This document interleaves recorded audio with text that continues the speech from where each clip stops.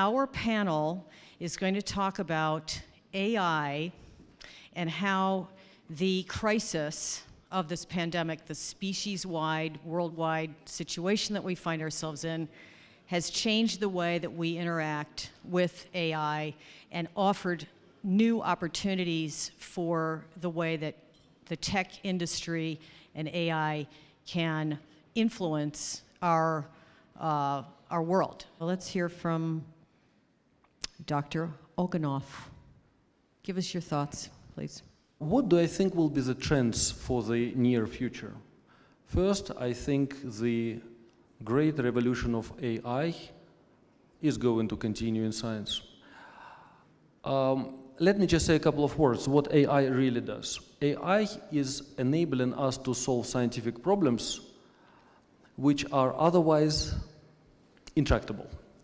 It can give us answers in those cases where we have no explanations and no ideas. Mr. Sharma, please, give us your thoughts. Thank this. you. Um, it's uh, very interesting that we talk about AI, and you know, usually the tone about it is very negative. negative, and I'm glad, Artem, that you're bringing some positivity into it. I think it's very important to understand that technology is something which is going to happen. It's just the speed is increasing, and we just don't know how to absorb it.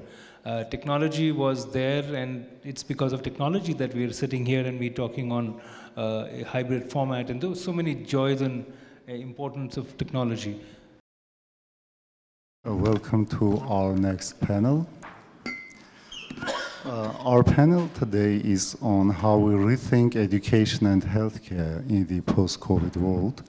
Uh, my name is Ara Bruzyan. I'm the head of digital innovation and smart technology at Morningstar Sustainalytics.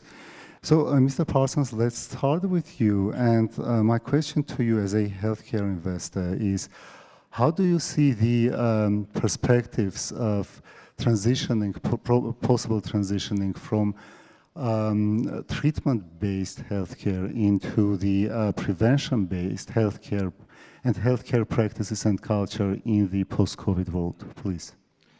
Uh, yep. Th thanks very much. It's a it's a super interesting question, um, and I think one that we'll only scratch the surface of um, on a panel like this today. But Maybe to start with, it would be helpful for me to talk a little bit about the frameworks um, through which I think we can we can look at these questions. And I think healthcare is an interesting beast. Um, the first one that's really important when you think about healthcare on a macro level, from a policy perspective level is, um, is an access between quality um, and access. Mr. Kamalov, my next question is uh, for you. From the unique intersection of medical research and education that you're uh, representing, how do you see the uh, uh transform the transformative processes in the post-COVID world for healthcare? Дело в том, что вообще, если э, сегодня говорить о здравоохранении как таковом, И вот здесь э, предыдущий спикер коснулся этого вопроса о доступности медицинской помощи. Я хотел бы сказать, что пандемия показала очень серьезные проблемы вообще в системе здравоохранения даже тех самых развитых стран, где есть очень высокая медицина. We are going to start our session on global megatrends and the world of finance. Let me first of all thank our speakers and for you all for coming. And let me give you a brief introduction of who's on the panel today. So uh, on my immediate left is Koba Gvenetadze. Koba is the chairman of the board of the National Bank of Georgia. He's the governor of National Bank of Georgia, a personal friend and a very seasoned macroeconomist with uh, huge experience with international financial organizations and government. On my right is uh, Samvel Lazaryan, who is the head of the Center for Macroeconomic Research, Financial Research Institute of the Ministry of Finance of Russian Federation. Which is the progressive loss of independence of central banks. The majority have mobile network access without access to broadband internet. So which means that all this to transformation We're talking about, whether it's in education, healthcare, etc. I, I, am concerned about the unhealthy trend towards forcing uniform taxation rates. second one, you know, I guess we can uh, say good things as well, right? Because trends not can uh, can be positive as well. I think uh, the development of everything becoming personalized, like reconsideration of the job markets, considering to the massive loss of jobs uh, due to digitalization and automatization. The asymmetry in labor automation and what it means for countries like Armenia. Specifically, things like certain types of office work are being automated. First, about the most recent trends and prospects on global investment, international investment, which is the engine of, um, of global supply chain. The only thing they can do at this point, in addition to being a means of payment. Вы знаете, саммит умов как он переводится с английского на русский, является очень важной площадкой, площадкой для Армении.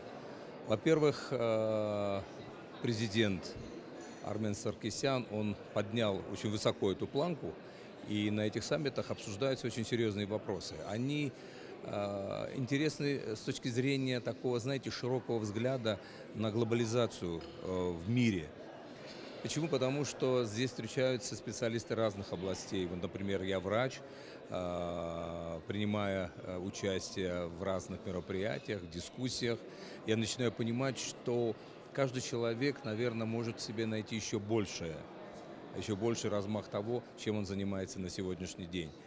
И эта площадка, мне кажется, она еще позволяет нам э, наладить те контакты, которые необходимы и Армении, и многим другим странам, потому что Армения является великолепной площадкой для апробации определенных технологий, потому что она маленькая по, по отношению к другим странам. И здесь можно получить те результаты, которые потом можно масштабировать уже в других странах с учетом полученных результатов.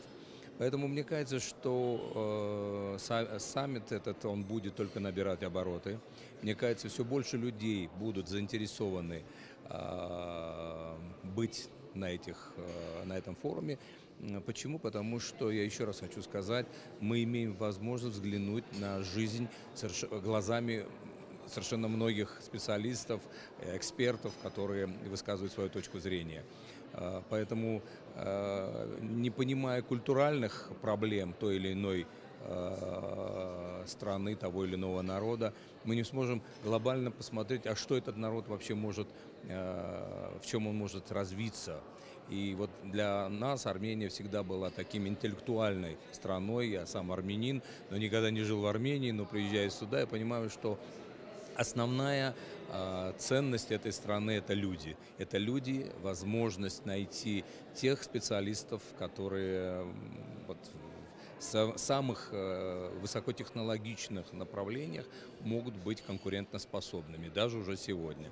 Поэтому я считаю, э, что этот форум состоялся уже как площадка, и он будет масштабироваться, может быть, даже он может поменять и площадки проведения, да, это может быть и Россия, может быть и другие страны, но все больше и больше людей будут принимать участие, поэтому я еще раз хочу поздравить организаторов, и самого Армен Вардановича, как инициатора этого э, самого интересного, с моей точки зрения, вот такого форума, и пожелать дальнейших успехов. И дай бог, чтобы все эти контакты, которые здесь возникают в Армении, они шли бы для пользы людей и для пользы, конечно, армянского народа. Ja, also ich glaube, das weiß, das weiß jeder, dass diese Veranstaltung für die Republik Armenien eine große Bedeutung hat. Das ist ja nicht das erste Summit, was durchgeführt wird. Wir als Konrad-Adenauer-Stiftung haben das große Glück, mit der Präsidialkanzlei zusammenarbeiten zu dürfen und auch einen kleinen Beitrag geleistet zu haben, äh, um, um, diese Veranstaltung, das heutige Summit, äh, mit vorzubereiten. Naja, man sieht da allein schon auf der Teilnehmerliste diejenigen, die hier aktiv beteiligt sind, ob sie elektronisch zugeschaltet sind äh, oder ob sie hier äh, physisch im Saal vor Ort sind. Äh, das sind ja alles äh, wichtige Personen aus Politik und Wirtschaft. Und äh, ich glaube, dass es ein gutes Zeichen ist, dass Armenien, das im letzten Jahr sehr, sehr viel Schlimmes durchmachen musste, dass es aber auf diese Art und Weise mithilfe dieses Summits eben auch zeigt, äh, die Politik geht weiter, das Leben geht weiter und äh, das Thema ist ja Zukunft. Знаете, я уже второй раз участвую в Summit of Minds. Здесь удивительная атмосфера, удивительная концентрация высокоинтеллектуальных, интересных, профессиональных людей. Собирать таких людей всегда полезно. Э, Никогда не знаешь, никогда не можешь предсказать, во что это выльется. Как минимум в какие-то контакты, дружбу, сотрудничество. Что из этого всего вырастет, мы узнаем спустя годы. Но из этого, несомненно, будет польза. Потому что когда два умных человека встречаются и начинают беседовать, мир начинает вращаться чуть-чуть быстрее вокруг своей оси. Ես կարծում եմ, որ նման օրինակ միջոցառումների անցկացումը չափազանց կարևոր է ամենաբարդ խնդիրների վերլուծության եւ ամենաբարդ խնդիրների վերաբերյալ որոշակի լուծումներ գտնելու քննարկումների տեսանկյունից։ Միշտ չի, որ մենք կարողանում ենք համախմբվել ու հավաքվել միտեղ, որտեղ դու կարող ես լսել տարբեր կարծիքներ նույն խնդրի վերաբերյալ իմ պատկերացմամբ խնդիրների լուծման բանալին հենց այդ այլընտրանքային կարծիքները լսելու, ինտեգրելու եւ լուծումներ գտնելու մեջ են։ Հենց որ չափազանց կարևոր իրադարձություն է։ Ես կարծում եմ, որ Հայաստանում նման իրադարձություն անցկացնելը, նման միջոցառում անցկացնելը պիտի ավանդական դառնա, որովհետեւ մենք նման լայնախոհության, այլընտրանքային կարծիքների լսելու կարիք չափազանց շատ ունենք։ Սա արդեն երրորդն է, որոնցից երկուսը բարեբախտաբար կարողացել ենք իրականացնել այս տիպի ֆորմատով, մեկը on-line ֆորմատով ենք իրականացրել։ Մյուս տարվա համար ծրագրված է, որպեսզի այս միջոցառումը համընկնի նաև որոշակիորեն Starmus ֆեստիվալի անցկացման հետ։ Ոստի ես կարծում եմ, որ ամեն ջանք պիտի գործադրենք, որ այս նմանօրինակ միջոցառումը Հայաստանում երկարատև կյանք ունենա։ Summit of Minds is a festival of ideas. Uh, it lasts two days, during which we cover an immense range of issues, um, which makes the conversation incredibly rich. Um, this year, as you know, there were two threads. One was geopolitics, and the way in which the situation is evolving incredibly fast, and the other was um, AI and technology in general. Um, the summit was uh, called Quantum, uh, Quantum World, because the world is changing incredibly fast. It's getting increasingly, increasingly complex, in becoming increasing, increasingly volatile. And it's very important for decision makers to get a sense of where we're going and, and how to adjust to the abrupt nature of change. So this is what the Summit of Minds is all about. It's a festival of ideas. We, we, we endeavor to better grasp the complexity of the issues that we have to deal with on a daily basis. Well, you know, when, when we organize a, a Summit of Minds, um, we make a commitment to our guests that they will leave the summit with three things a new idea, a new friend, and a new project. We can be absolutely certain that everybody will leave with the first two new ideas and new friends. We hope, um, by virtue of bringing many different people from many different countries to the summit in Armenia, we hope that um, we'll also be able to generate new projects um, that may mature in the coming years i- in Armenia.